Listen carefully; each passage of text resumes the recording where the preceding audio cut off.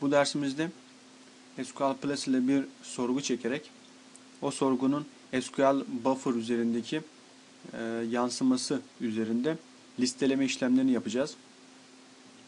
İlk olarak temel bir sorgu çekiyorum.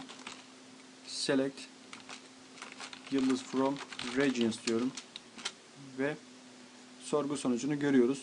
Şu an list dediğim zaman gördüğünüz gibi select yıldız from regions diye SQL buffer'daki sorgu sonucunu bize gösteriyor. Ee, SQL buffer üzerinde hafızada bekleyen sorguyu bize gösteriyor. Listin kısaltılmış hali L idi. L'yi de çalıştırdığımda aynı sorgu sonucunu görüyorum. Ee, şimdi bunun farklı versiyonunu kullanalım. Mesela select yıldız from regions diyorum. Yıldız. Ee,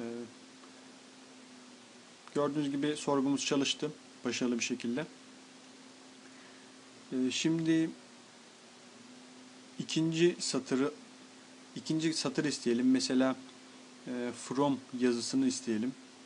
Üçüncü satır.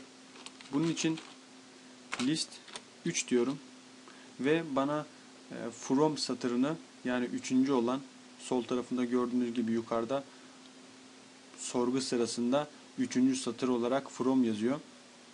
Üçüncü satırda. Burada da e, ben üçüncü satır istedim ve solda 3 yazan satır geldi. Şimdi list 4 diyorum. Regions yukarı bakıyorum. Evet dördüncü satır regions ve sorgu sonucu doğru. Peki bunun kısaltması var mı? Evet. 2 diyorum. L2 kısaltmasını kullanıyorum. 2'de yıldız var yukarıda gördüğümüz gibi. Sorgu sonucunda. İkinci sırada yıldız olduğu için bana yıldız geldi. Listin kısaltılmış hali L ve L2 şeklinde kullandık bunu. Bu işlem de başarılı. Ee, şimdi aktif olan satırı getirelim. Aktif olan satır nedir?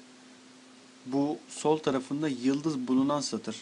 Yani şu an için aktif olan satırı temsil ediyor. Mesela liste diyelim.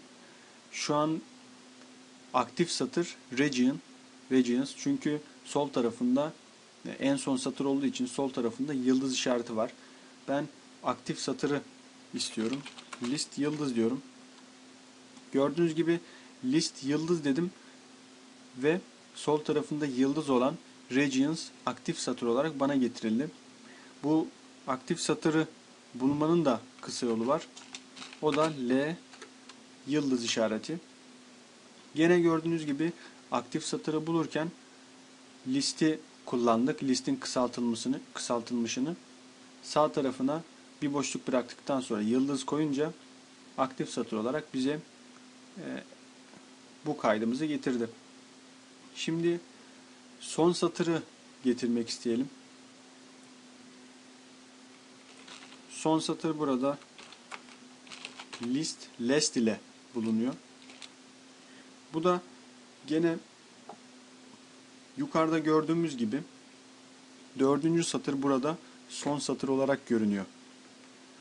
Ee, biz de son satırı istediğimiz için bize regions'ı getirdi. Yani aktif satırla aktif satır ile şu an son satır aynı satır oluyor.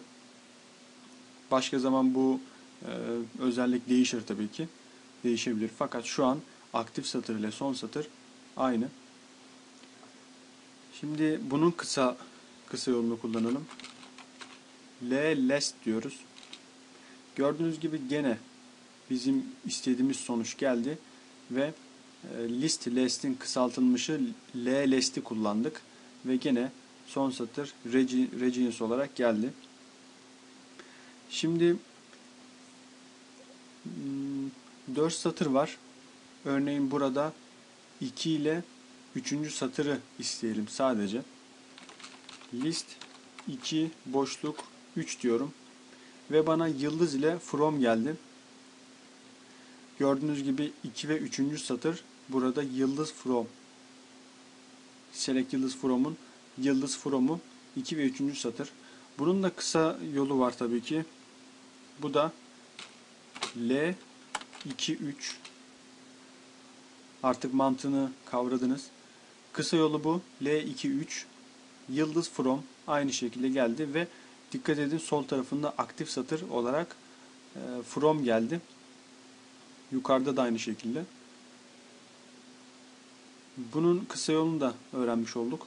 Şimdi 1 ile 4 arasındaki satırları isteyelim. Bu satırlar örneğin 10 satır olarak da karşımıza çıkabilir. Bu sefer ne diyebilirdik?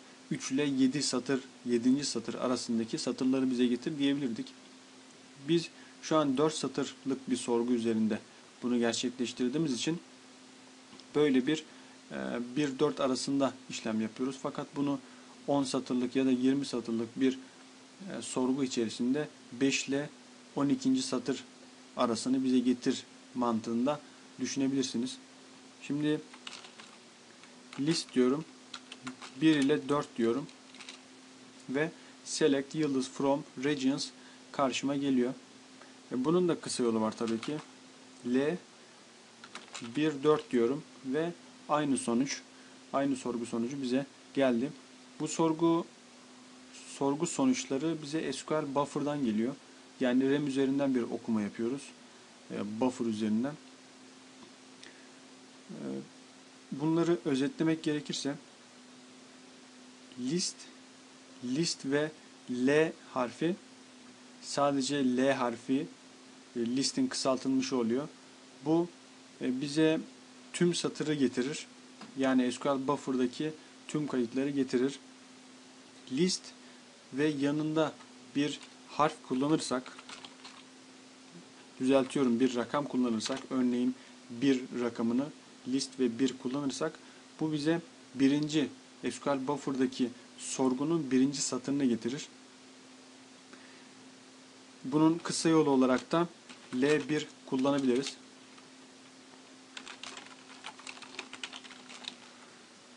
Bunun e, list yıldız var. List yıldızda bize aktif satırı listeler. E, bu da aktif satırı az önce anlattığım gibi sol tarafında yıldız olan işaret, yıldız işareti olan e, satır diyebiliriz buna. Eğer list yıldız ya da L yıldız dersek bize aktif olan satırı getirir. List last ya da L last dersek bu da bize son satırı getirir. Yani 4 satırlık bir sorguda dördüncü satırı bize getirir. Onun da örneğini yaptık. List 1 boşluk 3 yaparsak bize 1 e, ve 3. satırla birlikte bunun arasındaki satırları da getirir. Yani birden 3. satıra böyle bir işlem yapabiliriz. Bunun kısaltılmışı da L ve e, L ile yapmak. Bunu list yerine L. L1 4 yapmak mesela. Bunun bir de şu şekilde kullanımı var. Örneğin gene hafızadaki buffer'daki sorguyu e, ekranımıza aldık. Burada diyelim ki bize 3'ü getir. Gördüğünüz gibi ben 3. satır istedim ve list 3 ile bu işlemi gerçekleştirdik. Gördüğünüz gibi kısa yolu da L3. Bu şekilde listelemeler yaparak işimizi kolaylaştırabiliriz ve bunlar üzerinde düzenleme ya da silme, ekleme işlemleriyle e, pratik yaparsanız SQL Plus'ta birçok şeyi daha pratik ve hızlı yapmaya alışacaksınız.